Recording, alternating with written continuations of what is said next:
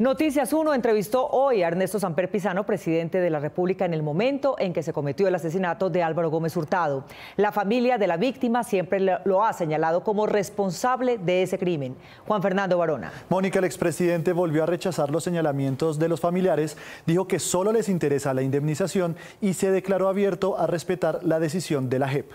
Noticias 1 entrevistó hoy al expresidente Ernesto Samper sobre la revelación de las antiguas FARC sobre su autoría del asesinato de Álvaro Gómez Hurtado y de otras cinco personas. Como una parte del país se declaró sorprendido por la confesión de los exguerrilleros. Nosotros somos los primeros sorprendidos porque desde hace más de 20 años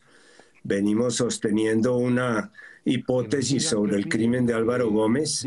y ahora pues tenemos que declararnos de alguna manera víctimas del silencio de las FARC.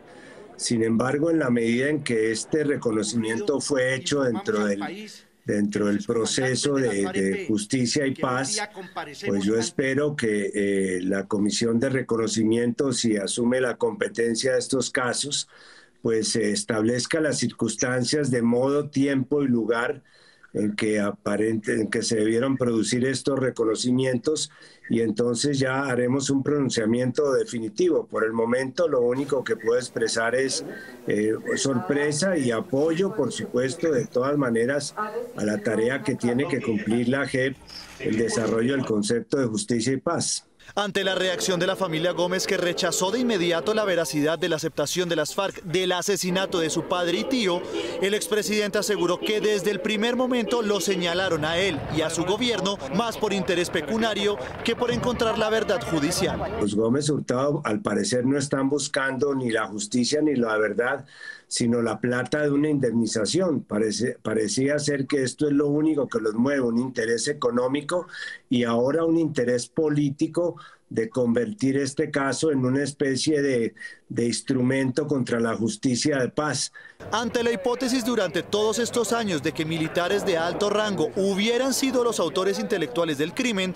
indicó que él también lo consideró, pero se mostró dispuesto a rectificar si las FARC demuestran ante la JEP su autoría. A mí, como eh, presidente que fui de esa época, lo que me interesa es la verdad, cualquiera que ella sea que podamos llegar a la verdad, no solamente el episodio Álvaro Gómez, sino todos los episodios que tienen que ver con las otras personas que fueron eh, señaladas por las FARC para reconocer la autoría de sus crímenes. Según dijo, de lo que sí ha estado seguro siempre es de la estrecha relación entre la conspiración golpista contra su gobierno y el asesinato de Álvaro Gómez Hurtado. Nosotros siempre hemos pensado que hubo una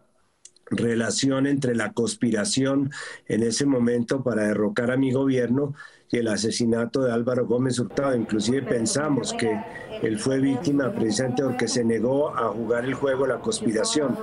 Pero repito, nosotros no podemos, en, estos años yo no he descartado ninguna hipótesis excepto la hipótesis absolutamente eh,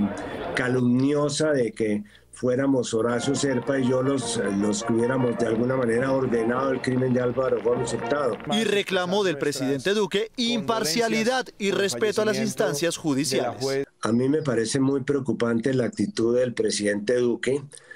porque eh, está prácticamente eh, en los últimos, las últimas semanas está dedicado a descalificar sistemáticamente la justicia, desconociendo sus fachos, desconociendo sus decisiones, en este caso desconociendo sus competencias, eh, ha, creado igualmente el, desarrollo de sus facultades de emergencia toda una nueva legislación que el país no ha podido medir, que me preocupa esta, esta posición del presidente, porque de alguna manera es, una, es el comienzo de algo inédito en Colombia, que es la politización de la justicia. El expresidente dijo que está dispuesto a ir a la JEP si se le pide colaboración con lo que hubiera conocido mientras fue jefe de Estado y aseguró que sea cual sea el resultado de la investigación en la justicia transicional, la acatará y respetará.